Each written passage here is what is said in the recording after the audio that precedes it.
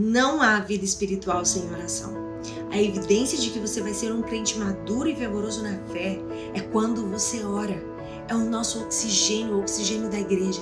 Veja Ana, estéril, desprezada pela sua rival, mal interpretada pelo sacerdote Eli, não compreendida pelo seu marido Eucana, clamou a Deus por um milagre de sua mãe.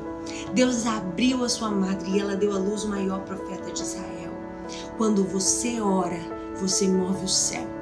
Neemias, chorando e jejuando diante de Deus, foi um grande reformador que reconstruiu uma cidade que estava 142 anos debaixo de cinzas. Ela se ergueu novamente através da oração. Quando Jesus subiu ao céu, deixou uma ordem. Está escrito em Lucas 24, 49. E eis que sobre vós envio a promessa de meu Pai. Ficai, porém, na cidade de Jerusalém, até que do alto sejais revestidos de poder. Essa é a ordem. A igreja deve ir fazer a obra, mas antes de ir, ela precisa de revestimento de poder. E revestimento de poder só vem por intermédio de oração. Nisso, pensai.